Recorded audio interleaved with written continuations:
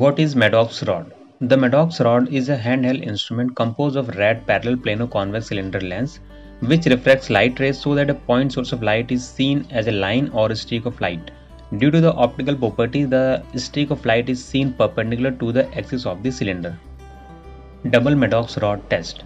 The double Maddox rod test can also be used to assess torsion and measure cyclotropias.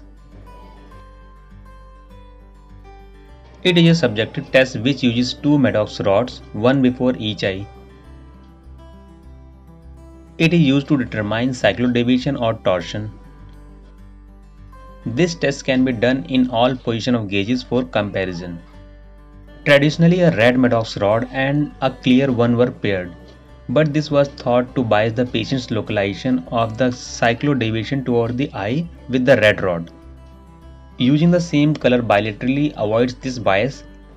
Therefore nowadays red Maddox rods are preferred before both the eyes during the test.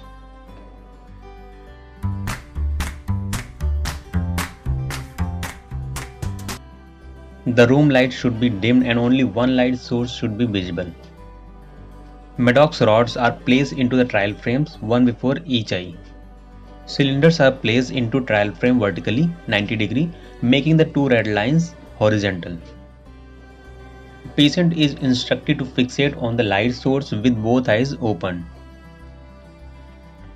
When testing at near, the patient is asked to fixate on light source at 33 cm which is held at eye level. When testing at distance, the patient is to fixate on light source at 6 meter. If patient feels difficult to compare the orientation of streaks, place the loose prisms in the trial frame. Vertical prism, base up or base down can also be added into the trial frames to separate the two red lines. This avoids confusion if the patient claims that they only see one red line. If the patient does not have any vertical or horizontal separation of streaks, the streaks can be difficult to compare. Thus loose prisms can be used to separate the images streaks to let easy comparison. Or if the patient has large horizontal or vertical deviation, prisms can be used to bring the streaks closer together to let the easy comparison.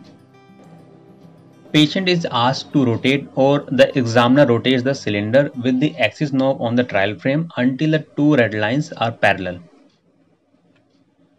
The amount of cyclodeviation deviation is measured in degrees utilized from the scale on the trial frame. If the two streaks are parallel to each other without any rotation of Maddox rod, patient does not have cyclodeviation. Examiner can either use base out, base in, base up or base down prism depending on the deviation. For example, a patient with an large esotropia may need a base out prism placed in front of deviated eye to bring the streaks corresponding to this eye closer to the other streak. This test can be repeated for the secondary and tertiary position of gaze.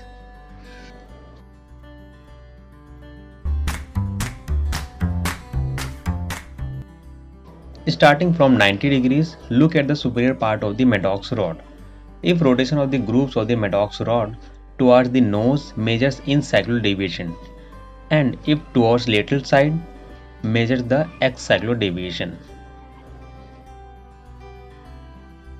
The amount of cyclodeviation deviation is measured in degrees shown by the scale in the trial frame.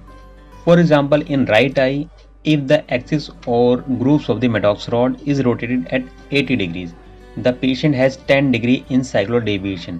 But if the axis of Maddox rod is rotated at 100 degrees, the patient has 10 degree excyclodeviation. Along with the results gathered from other tests, you can use this information to consider the action of each muscle and also to indicate which muscle is likely to be affected. In most of the cases, double Maddox rod test helps in detection of the defect of the oblique muscles. For patient with unilateral superior oblique weakness, the excyclophoria is generally between 1 to 7 degrees, whereas in bilateral superior oblique weakness, the excyclophoria is typically greater than 10 degrees. When recording the result, remember to list the name of the test as well as the direction and degree of the torsion. Degrees taken from 90 degrees when Maddox rod is vertically in trial frame. 10 degree excyclo when Maddox rod is before either of the eye rotated 10 degree outward temporarily from 90 degrees. Advantages It is a subjective test. It can easily be performed. This is simple and fast technique. It can be used on children if they can respond reliably. It can be used to test eye muscle balance. Disadvantages It cannot be done when there are sensory anomalies present. It cannot be performed if a patient has suppression as they are unable to see the lights. It cannot be performed if there is abnormal retinal correspondence ARC as the angle of separation of the images will not correspond to the angle of deviation defeating the purpose of the test. It cannot differentiate between phorias and tropias. It is not suitable for the measurement of large deviation nor for accommodative deviation as accommodation cannot be controlled with the test. Patient with congenital long-standing cyclodeviation may not report torsion as it is subjective test. Fundus photography should be therefore be performed to determine the presence or absence of cyclodeviation in such cases. Kindly subscribe the channel and press the bell icon. Thank you for watching.